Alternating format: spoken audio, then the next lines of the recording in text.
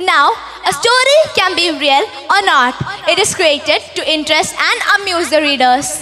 And we have right here, right now, our little girl Eva, who wishes to share a story that she likes.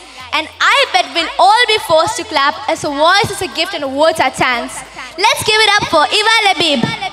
Honorable Principal, teachers, parents, and my dear friends. I'm Eva Labeeb of Grade 1A. Today, I'm going to narrate a story about a foolish lion. Once upon a time, there lived a lion in a forest. One day, he was hunting for food. He was very hungry. After a while, he saw a rabbit sleeping under a tree. The lion decided to kill it with a single blow. He raised his hand. Look, comes a deer.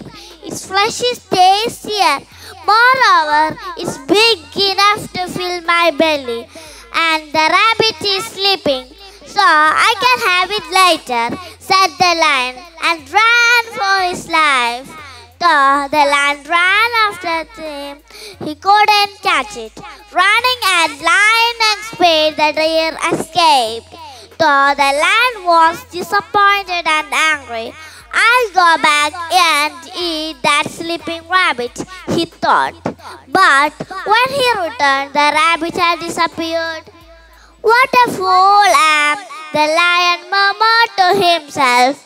I ran after one, leaving behind I already had. Now both are lost.